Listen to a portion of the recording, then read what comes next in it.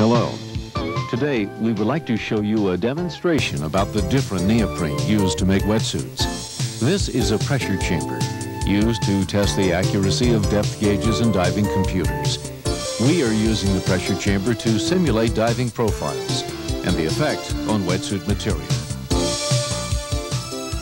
All wetsuit neoprene is not the same in composition. Domestic neoprene from Rubatex is composed of nearly 100% neoprene and is formulated through an extrusion process, creating nitrogen cells to withstand the pressures of diving. Imported neoprenes are 30 to 60% neoprene, blended with plastic polymers, which does not have the added nitrogen cells to withstand the pressure of diving. In the pressure chamber, we have placed samples of Rubatex neoprene on the top shelf. On the remaining shelves, we have placed imported blended neoprene from Chaco, Pacific Eagle, and Yamamoto. On the left side of each shelf are 3 millimeter samples, and on the right side are 5 millimeter samples. We will now take you on a simulated dive of 35, 70, 100, and 130 feet. Please watch the effects of pressure on the samples.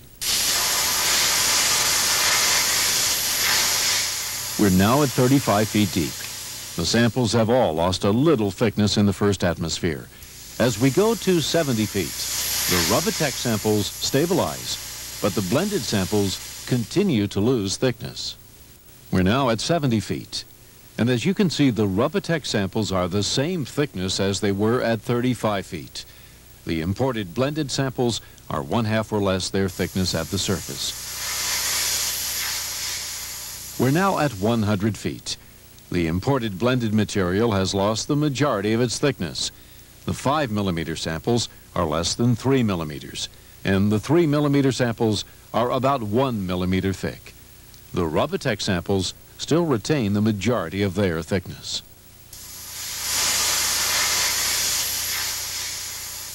We now have reached sport diving limitations of 130 feet. The Rubatex samples are still the same thickness they were at 35 feet, offering the diver proper thermal insulation throughout their dive.